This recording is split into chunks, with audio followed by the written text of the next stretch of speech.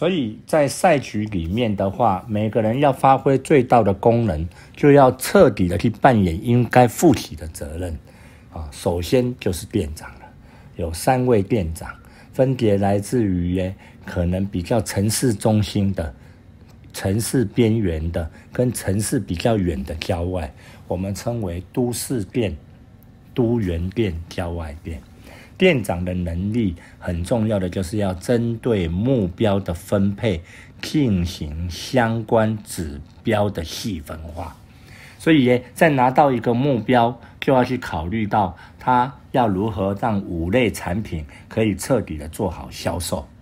也因为这样子，就要考虑到市场的相关的什么定价。那这延伸到竞争的关系，在我们下一个单元。竞争商圈就会特别提到三个店长，因为不同的目标顾客，每个商圈它都有不同的消费等级的顾客，所以更要在商品结构里面去做调整。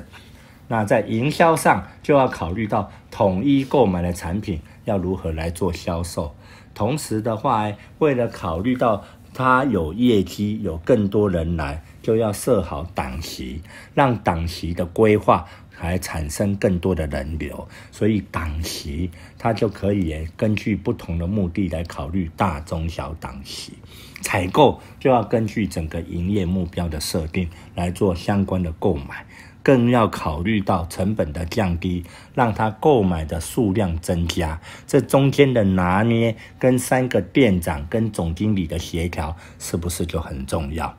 更重要的是怎样？总经理要有这种运筹的思维，这样子的话，去协调总目标的下达，让我们的店长们，让我们的采购们，让我们负责营销，甚至培训，还有我们相关三个店的统合，可能还有运营总监的角色，彻底的去做好彼此的分权分工。